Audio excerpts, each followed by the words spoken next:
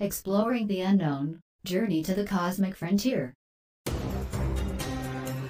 We've traveled countless light years to reach this planet, Zoger.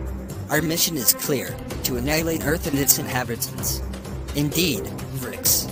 Earth has proven to be a persistent obstacle in our galactic expansion. Their technological progress threatens our dominance.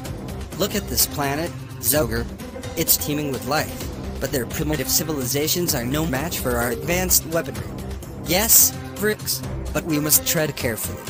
We've heard stories of species uniting against a common threat. We cannot underestimate their potential for resistance. Fear not, Zoger. Our stealth technology will ensure they won't detect our arrival until it's too late. We'll strike swiftly and decisively. Vrix, before we proceed, we must consider the moral implications of our mission. Are we not the invaders here? Zoger, this is about survival. If we don't act now, Earth's technology will surpass ours. We have a responsibility to our civilization. I understand, Vrix. But let's make this our last resort.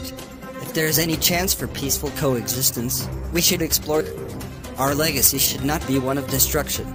Agreed, Zoger. Let's attempt communication first. But if diplomacy fails, we must do what's necessary to protect our future. We'll send a message of peace first. It's only fair. If they respond positively, perhaps we can find a common ground. If not, we'll proceed with our original plan. Together, my friend, we'll decide the fate of this world. May our decision be just and wise. May the cosmos guide our choices, Vrix, and may we find a way to coexist peacefully with the inhabitants of this blue planet.